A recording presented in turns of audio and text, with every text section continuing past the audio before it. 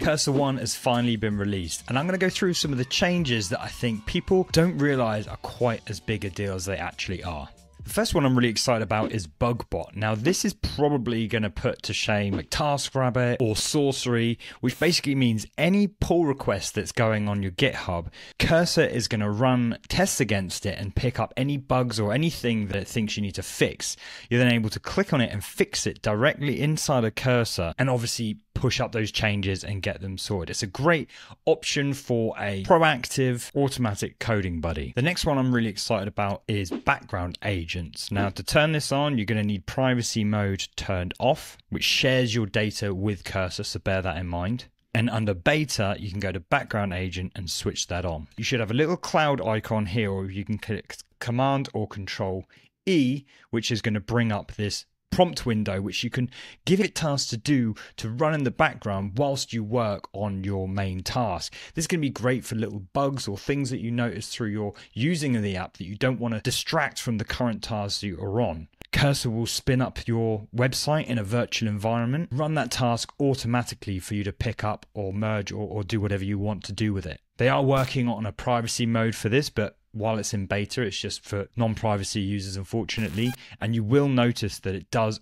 use the max modes on all of these models. What this is going to mean is that anything you run is going to cost you that extra on top of your normal cursor subscription plan. This replaces the need for, say, Codex or Jules because it's right there inside of your window. The other one here that I'm really excited about is memories. And if you're familiar with anything like Claude Code, you'll be familiar with the claude.md files, which you can pepper throughout your code base at various different sort of levels. It maintains documentation and an idea of what's going on depending on the level you put it at. And what's really cool is it updates as it learns more about you. It learns more about how you write code and what's happening in those various layers of context. Again, you're going to want to go into settings here and with privacy mode disabled, you go into rules and you can generate memories. And this is going to automatically update as your code base learns about you, learns about your code. This is going to go so far in helping you write consistent code and your team write consistent code and maintain little nuances that you don't encounter a lot and you often forget as you're working on big code bases. I'd like to see a more sort of nuanced version of this where you can set memories up for folders like you do on Claude, but this is a great step forward, all within the Cursor IDE. And the last update, which I really don't think is getting enough support, is the one click installation of MCP servers.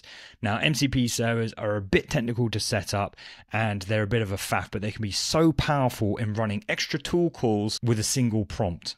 And with one click installation, this is going to be like the app store of MCP servers. Now, you've got a few here they've already set up. So if I want to install GitHub, I just got to click this, click install, and it's done. I've got that MCP server set up in Cursor, and I can run those tool calls or have that be part of my workflow whenever it suits me.